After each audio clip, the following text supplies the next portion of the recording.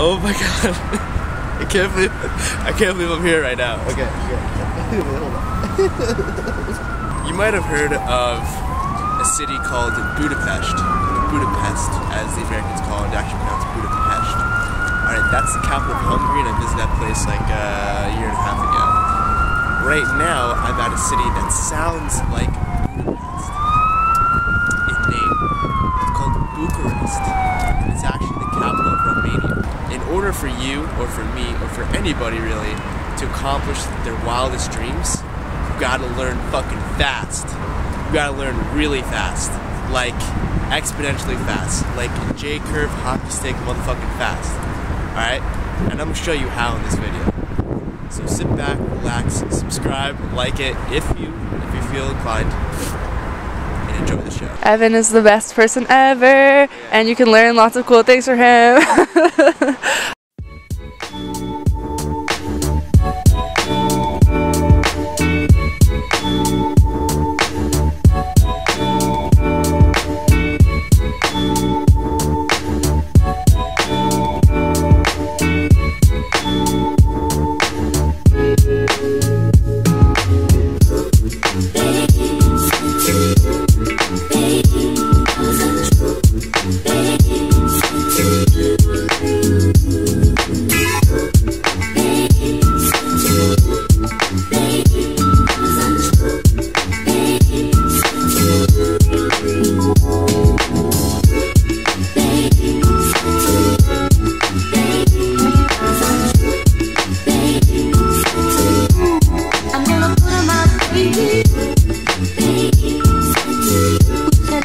Said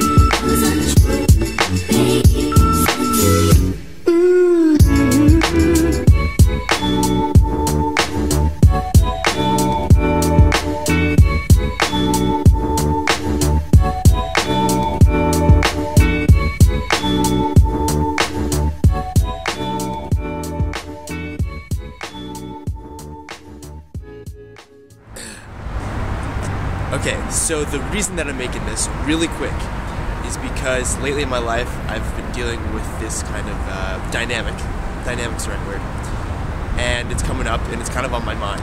So check it out. When we want to learn something outside of school, we do it for one primary reason. It's that we want to learn new information in order to benefit the quality of our lives. We want to improve our life, right? So check this out. There's a thing that prevents us from learning. It's called the ego. Alright? And the ego is a survival mechanism. It's the reason that humans are around right now. And you should thank the ego for letting you be alive right now. Or else your grandfather, his father, and all those motherfuckers on the bloodline would not have survived foraging food. Okay? The ego is actually great. However, in modern society, in modern times like this, when you're in a bustling city, you're not worried about survival. You go to the food shop right over there. You go to your apartment for shelter. You got water. We got fountains. All right, we got fountains. We do not need survival mechanisms anymore. So, the ego was designed to keep us alive and make us start thinking about the future and our past reflections. Anyway, essentially what it does is it's a way of identifying our sense of self with something that we did in the past. Traditionally, we think of ego as, oh, he's egotistical. What does that mean? Well, he's very full of himself. He, may not you may not totally realize this, but it's because he's proud of his past accomplishments or feats, whatever he did in the past. That's why he's being so egotistical, because he thinks he's the shit because of his past problems. Okay, so that's gonna relate to you, it relates to me, it relates to every motherfucker living. Alright? So what that means is that if somebody comes along to an egotistical person, or anybody really, really, and maybe shows them a new way of doing something that they've been doing for an extended period of time, it's gonna be met with resistance, which is the ego. So, for example, this is a more real example, it's not like kicking. In my life, recently, I had to look back and reflect upon the way that I was conducting my relationships. Romantically, with my family, with my friends, with my loved ones. Okay? And the way that I was conducting my relationships up until a certain point in time was successful. I liked where they were going. I liked the quality. I liked what I could do with them. And I liked what they were producing. But things changed direction. And I was not getting the outcomes that I wanted.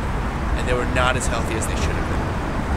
And so, I was faced with kind of like a fork in the road. And the ego would make you pick one way. So the ego would say, keep doing what you were doing because that's kind of who you are. That's who you were in the past, and it was working back then. If you change now, you lose your sense of self. I hope that makes sense. You kind of feel what I'm talking about. But you've done something so many times, and you invested so much energy, a certain methodology, an idea, a way of doing something, that if you change that suddenly, it'd be like altering who you are, altering your sense of self. And that's what produces the resistance. Here's the other thing pain isn't the type. I mentioned the word pain. Pain is the counterbalance to the ego. I want to use the I want to use the word antidote, but it's not the antidote. We'll talk about the antidote later. It's the counterbalance. Right here you got ego. On the other hand, fuzzy head, you got pain. And for me, and for everybody, when the pain increases so much, it can override the ego. And you can put away your past thoughts and feelings and ways of doing things for new and better ways of life. Okay, so a certain amount of pain had to come into my life because it was like uh, unhealthy relationships and all the stress that was causing. That had to override the strength of my ego for me to be like, fuck this shit. I don't care what I did in the past. I need to find a solution. I need to figure this shit out. I cannot keep on going like this. New information come my way, and I would devour books, videos, any sort of information to try to fix my problem. Okay, that's pain, and sometimes pain is really good. It shows you that something's fucking wrong, right? So the pain can override the ego, and that's where you start learning, and that's where you go and open up to new ideas and new methodologies, even if they run completely fucking count. Even if they run completely counterintuitive to what you've been doing in the past. And that is how you learn incredibly fast. Almost. You got pain, you got your ego. The pain could go up and override the ego. Or, instead of being super miserable with pain and suffering, there's a way to take a shortcut, and this is the antidote. You decrease the ego through, I've recommended before, I do it every day. I just did it for an hour right before I'm making this video. It's called meditation. And it's gonna make your life way better. One of the ways that it's gonna make it better is your ego's gonna decrease and you're gonna learn really fast. Like exponentially fast. Like you're gonna learn twice as much tomorrow as what you did today about yourself and your surroundings. And the day after that, it's gonna double, compound, and compound, and compound. So that you can be super fucking powerful and accomplish your dreams. I would not be here where I am today if it wasn't for meditation. The fact that I can look at new ideas and perspectives and embrace them without feeling a loss of sense of self. Okay? So if you decrease the ego, you also don't need as much pain to be like, wow, I'm going to seek new information. Let's check out something that's conflicting to my current viewpoint. And what that allows you to do is take bits and pieces of different perspectives, of even the same argument, or just different parts of life, and piece them together in a beautiful mosaic some sort of personal understanding. So for me, when people ask me, I might be the last person I might be the last American who has not decided whether they're pro or against Trump. Okay? I think there's some aspects of him that are fucking amazing, and he also has his negatives. And to be able to say that and look and sometimes learn from Donald Trump about some of the amazing things that he's been able to accomplish. Uh, I'm making a lot of this. While also learning from the shit that he does bad, that's really great.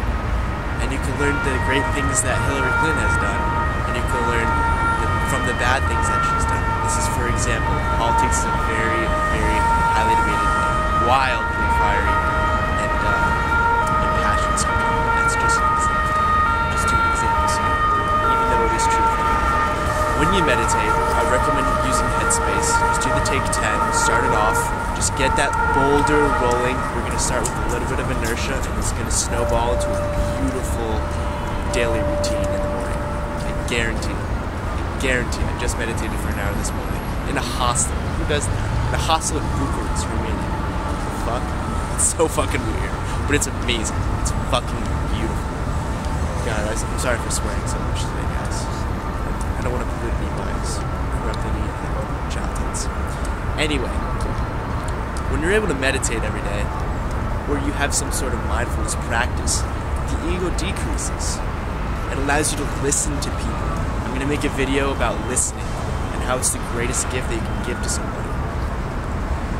It allows you to listen and interpret and start to understand and be genuinely curious about other ideas. And when you do that, you can open up new ideas, take bits and pieces, and learn at an exponential rate. And this is ultimately going to help you and catapult you into your dreams, your wildest fucking dreams.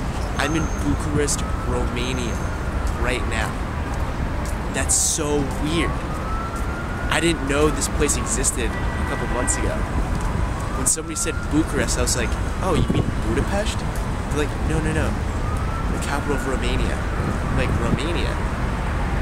Oh, yeah, there's a country named Romania in Eastern Europe. Like, I don't know anything about that. Romania.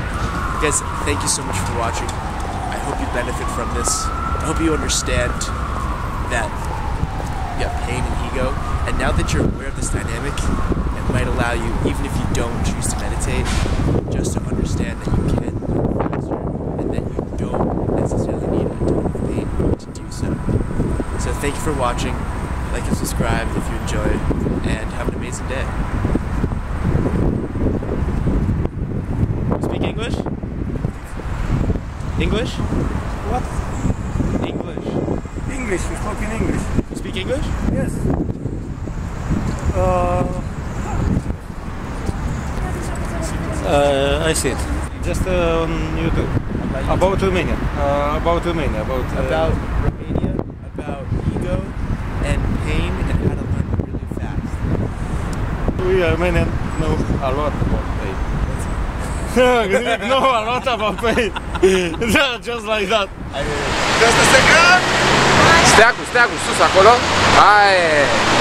I've got to go away. I really can't stay, cause baby it's cold ah. Outside. It's so cool. We're so bad at singing.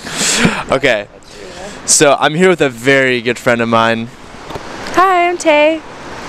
Tay is amazing. Now, so Taylor, yesterday I made a video and I talked about the relationship between pain and ego and the whole process of learning new things. Okay. Is there anything that you'd like to add to that discussion? No pain, no gain. Put down your ego and live your fucking life. That's all I have to say about that. You just said So cool. what took me like 10 minutes to say yesterday in about two seconds. Is that all, honey? Yeah, babe. Okay. Evan and I are gonna have kids soon. Coming next, Evan and Tay have children. April Fools! Except it's February. Alright, Oh my gosh. peace!